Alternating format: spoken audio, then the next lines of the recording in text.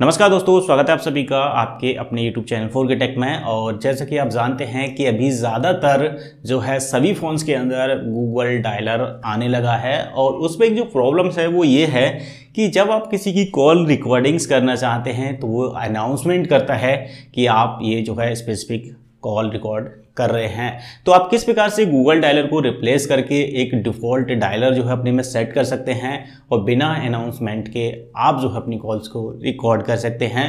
तो ये जो मैं चीज़ करने वाला हूँ, मैं करने वाला हूँ रियल मी फ़ोन्स के अंदर।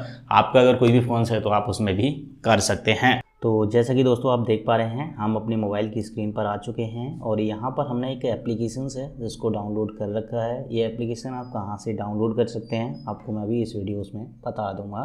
इससे पहले ये इंस्टॉल हो, एक चीज़ और रखिए, आपका जो इंटरनेट है वो बंद हो थोड़ा सा। वैसे किसी प्रकार की प्रॉब्लम्स आपको नहीं आएगी, लेकिन ये अपडेट माँगता है, इसलिए।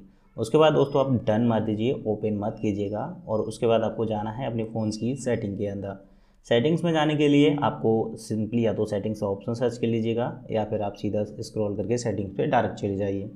तो किसी भी तरह से जा सकते हैं। सेटिंग्स में जाने के बाद आपको जाना है ऐप में और ऐप में आपको सेकंड ऑप्शन मिलता है डिफ़ॉल्ट ऐप्स का तो आपको ओपन कर लेना है और नीचे आपको फ़ोन ऐप मिलेगा देखते हुए। तो इस फ़ोन ऐप पर आपको ऊपर वाला जो कॉन्टैक्ट है, उसको सिलेक्ट कर देना है। और जैसे ही आप कॉन्टैक्ट सेलेक्ट करते हैं, आप वापस चले आइएगा। अब देखिए, आपका जो गूगल डायलर है, कुछ इस प्रकार का है, जो पहले से डिफ़ॉल्ट है, इसको आप डिसेबल कर दीजिएगा और डिसेबल जब आप करते हैं तो आपका पासवर्ड फिर जो भी है, वो मांगा जाएगा और इसीलिए स्क्रीन ब्लैक हो गई है, क्योंकि सिक्योरिटी रीजन से पासवर्ड कभी जो है रिकॉर्ड नहीं होता है डिस्प्ले में। बहुत सारे फ़ोन्स जो है, इसको ब्लॉक कर देते हैं।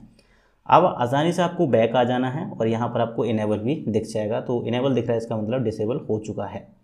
तो अभी आप देख सकते हैं हमारा जो गूगल डायलर है वो हट गया है और उसके बाद आपको जो अपना डिफ़ॉल्ट डायलर जो हमने अभी सेट किया है, उसको इस प्रकार से आप ओपन कर लीजिए सेट कर लीजिएगा। और यहाँ पर अब मैं आपको कॉल जो है वो रिकॉर्ड करके दिखा देता हूँ। तो चलिए हम कॉल लगा लेते हैं। तो अभी मैंने 198 लगाया है, जो कि कंपनी का नंबर है। तो आप देखेंगे कि यहाँ पर अभी जो कॉल है वो लग चुकी है। और अब आपको मैं दिखाता हूँ कि कॉल कैसे रिकॉर्ड होती है। तो अभी आप देख सकते हैं कॉल रिकॉर्ड होने लगी है।